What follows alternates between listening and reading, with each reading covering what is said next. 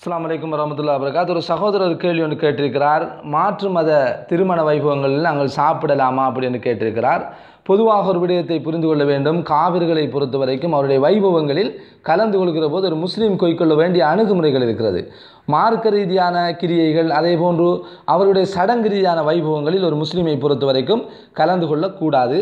ஆனால் இப்படி திருமண விழாக்கள் அல்லது திருமண வைபவங்கள் நடைபெறுகிற போது உணவுகள் பரிமாறப்படுகிற போது அதிலே கலந்து கொள்வதில் எந்த விதமான ஒரு தடையும் இல்லை என்பதுதான் பொதுவாக அஹ், யோகபித்த ஒரு முடிவாக இருக்கிறது. ஏனென்றால் முஸ்லிக்கங்களை பொறுத்த வரைக்கும் இன்னமல் முஷ்ரிகூன நஜிஸ் முஸ்லிக்கங்களை பொறுத்த வரைக்கும் அவர்கள் அசுத்தமானவர்கள் நல்லா சொல்லி காட்டுகிறான்.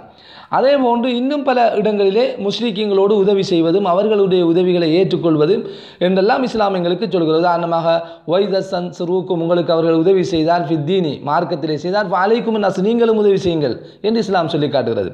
அதே போன்று உங்களிலிருந்து வீடுகளில் வெளியேற்றாதவர்கள் உங்களோடு யுத்தம் புரியாதவர்களோடு நீங்கள் நன்றாக நடப்பதில் மார்க்கத்தில் எந்த ஒரு குற்றமும் கிடையாது. அல்லாஹு தாலா குற்றம் பிடிக்க மாட்டான் என்கிற செய்திகளை நாங்கள் பார்க்கிறோம். அதே போன்று அவர்களை ஆகவும் உற்ற நேசர்களாக நாங்கள் எடுத்துக்கொள்ளவும் கூடாது. யா அல்லாஹ் சொல்கிறான் யா யுகல்லதி நாமனு லா தத்தஹிது இல்லதி நத்தஹது தீனக்கும் ஹுசுவன்.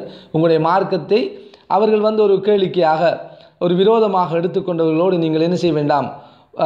வலியன் அவர்களை நேசர்களாக அல்லது நண்பர்களாக நீங்கள் எடுத்துக்கொள்ள வேண்டாம் என்று அல்லாஹு ஜில்ல சானவுத்தலா சொல்லி காட்டுவதை நாங்கள் பார்க்கிறோம். அப்போ இந்த அடிப்படைகளை வைத்து பார்க்கிற போது சாதாரணமான பொது விடயங்களில் அதாவது அவர்களுடைய உணவு பரிமாறல்கள் அதே போன்று இப்படியான திருமணங்களில் நாங்கள் கலந்து கொள்வதில் மார்க்கத்தில் எந்த ஒரு தடையும் கிடையாது. ஆனால் மார்க்க ரீதியான விடயங்கள் உதாரணமாக அவருடைய பொங்கல் நிகழ்வுகள் அதே போன்று தன்செல் நிகழ்வுகள் அதே போன்று அவருடைய மார்க்கம் சம்பந்தமான விடயங்களில் நாம் கலந்து கொள்வதை நாங்கள் கட்டாயம் அதை தவிர்த்து கொள்ள வேண்டும். அது மார்க்கம் தடை செய்யப்பட்டது என்பதை நாங்கள் தெளிவாக புரிந்து கொள்ள வேண்டும்.